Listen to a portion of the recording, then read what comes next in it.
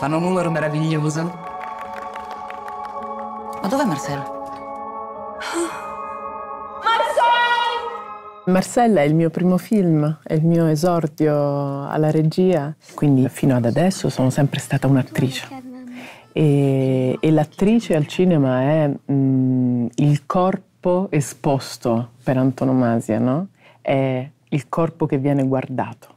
Viene guardato da un regista eh, che lo sovrascrive, viene guardato dagli spettatori ma dopo tanti anni che sono stata guardata mi piaceva l'idea di provare a mm, cambiare questo sguardo e penso di aver fatto un primo film molto personale, perché nella storia questa bambina è profondamente gelosa del rapporto simbiotico tra la madre e il cane.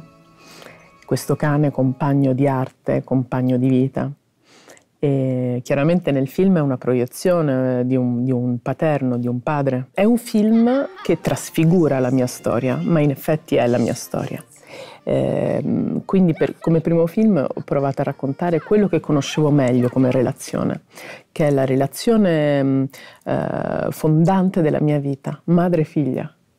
Eh, una relazione che poi io ho ribaltato perché sono diventata madre di una bambina. È un film eh, complesso, ma è sicuramente quello, la cosa che più mi rappresenta, perché mi piaceva raccontare una storia dal punto di vista della memoria di una bambina e quindi come la memoria trasfigura tutto. Volevo darti questo. Uh! Va così bene?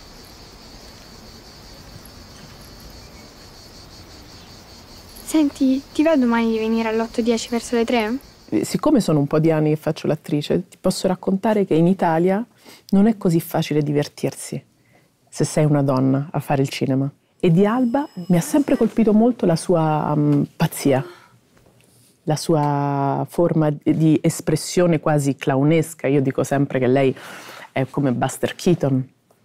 E quindi um, volevo fare con lei una, un momento di scambio di possibilità e di gioco. E poi mi piace dirigere gli attori, tantissimo, perché un po' so che cosa dirgli e un po' mi fa dolcezza vedere la, la fragilità e la potenza insieme di queste creature. Mi piace raccontare una madre crudele, mi piace raccontare una figlia crudele, cioè mh, personaggi non idealizzati, anche se appunto non c'è realismo, ma è raccontare che l'umano può essere tutto e che i ruoli madre e figlia sono dei ruoli, sono dei ruoli ma si possono sempre ribaltare.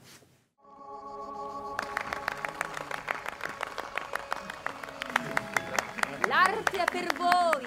In questo film dove appunto il, il, l'inno principale, il motto principale è all'arte si deve la vita, ehm, credo che sia il messaggio profondo che la mia mamma mi ha lasciato come una vera eredità. Non c'era niente di eredità materiale nella nostra vita, perché eravamo, non avevamo nulla se non un grande senso di eh, dignità e di mh, mm, volontà di eh, ampliare il proprio orizzonte nonostante i mezzi materiali che la vita ci aveva dato.